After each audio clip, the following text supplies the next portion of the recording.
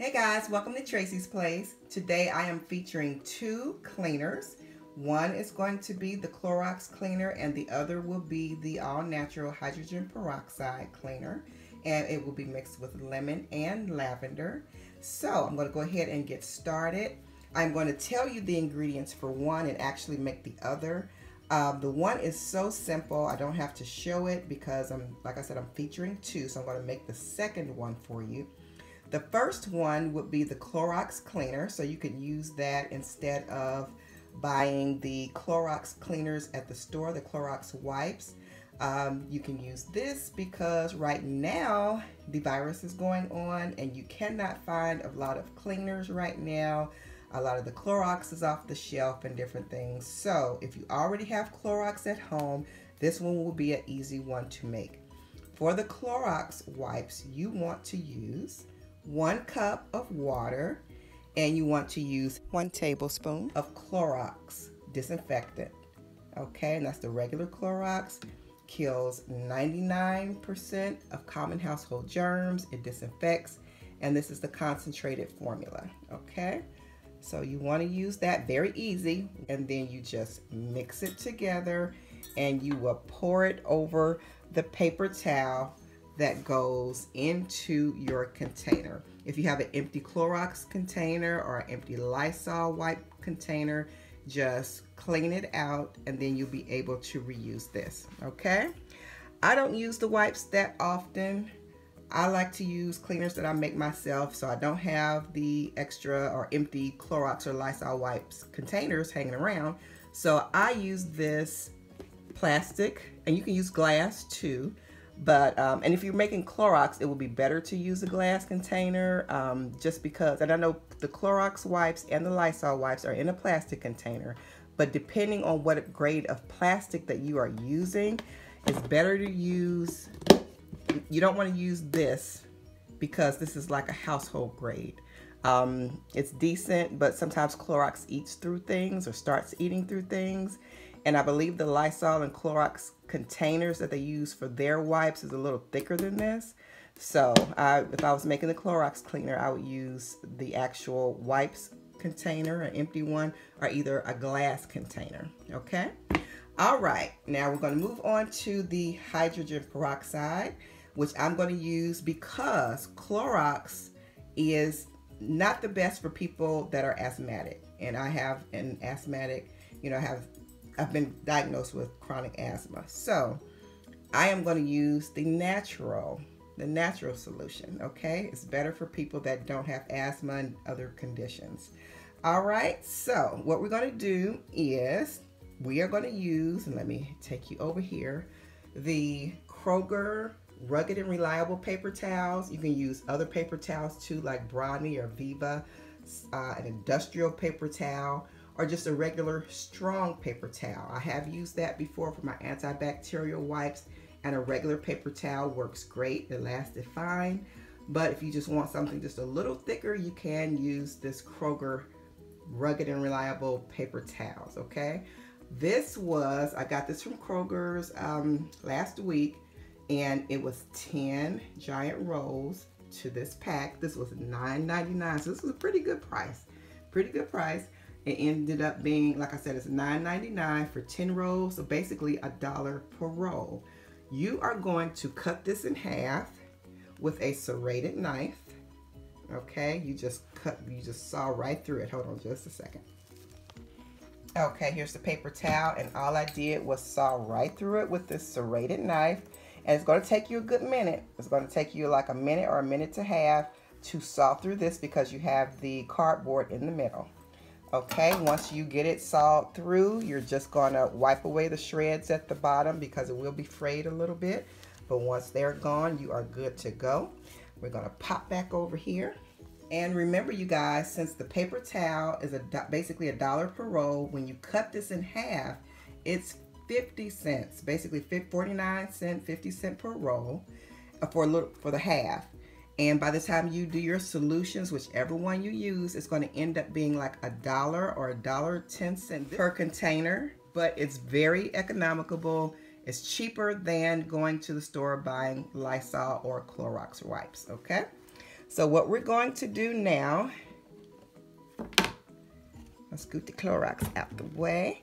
And for the hydrogen peroxide solution, you're going to use one cup of water.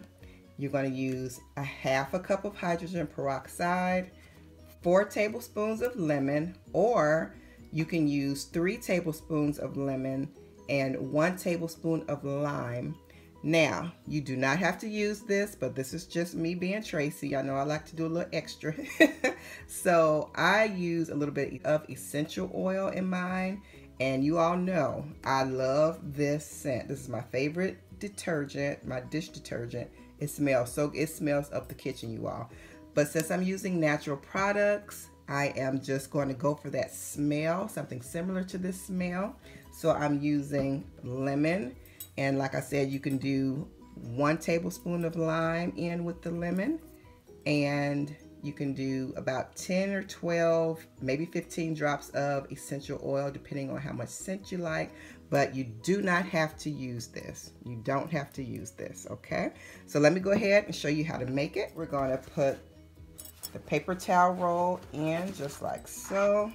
And it fits perfectly. You can get these at the dollar store, uh, your grocery store, Walmart. They're very easy to find. And since hydrogen peroxide is not as strong as Clorox, I don't have to worry about it like eating through the plastic or anything, okay? So I have one cup of water here. And in a separate container, I'm gonna add in a half of the cup of hydrogen peroxide, so I can add it to the one cup of water.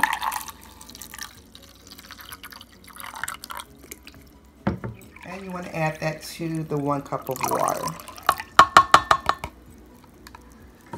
I have three tablespoons of lemon juice and one tablespoon of lime. And like I said, if you just have lemon, that is fine. I love lemon by itself. So you could use four tablespoons of lemon. That's lemon juice from a real lemon. Lemon is a good cleaner. Hydrogen peroxide is also a good cleaner. Um, you can use it instead of Clorox. It whitens, it disinfects, okay? All right, so we're gonna go ahead, shake this up a little bit. And we're gonna add I'm gonna go for 15 drops. That's one, two, three, four, five, six, seven, eight, 9, 10, 11, 12, 13, 14, 15. A couple of them drops you couldn't see coming out. So that's 15 drops. And you can smell it to see if you like that or if you need a little, I wouldn't go past 20. Mmm, that smells good. I'm gonna do five more drops. I'm a little extra that way. Come on, three, four, five. All right, mix that up.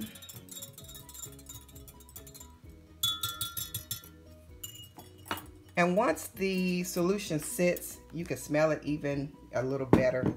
So what we're gonna do is pour this solution all over your paper towel. And this is such a good thing to do if you cannot find the cleaner in the store. You can make your own at home. Or if you just, you know, are on a budget or just want to, you know, you don't want to spend so much money on the brand names. These work just as well. Okay. I'm going to get that all on there. It smells good, y'all what you want to do is just kind of roll it around. I'm not even going to snap it closed because I just want to roll it around a little bit. Okay. And what you want to do is let that sit for about 10 minutes and it should be all soaked through. Okay. And then you want to come back and take the center cardboard out the middle. It's very easy to do. You just kind of pull it away from the paper towel and start pulling upward. And it's very, very easy. See? Slides right out. And what you want to do is find the middle. And there you go. You are all ready to go. So you just keep them covered up. Okay, and it's going to act just like the wipes. You're going to pull it up from the center and find the perforation and pull it out. Okay, very, very easy. And it smells so good, you all. So good. So you have your natural cleaner right here, or you can use the Clorox and both of them disinfects. All right, guys, thanks for watching. You can make either or. Like I said, you can make the Clorox disinfectant wipes, or you can make the hydrogen peroxide and the lemon. You can add these essential oils or not.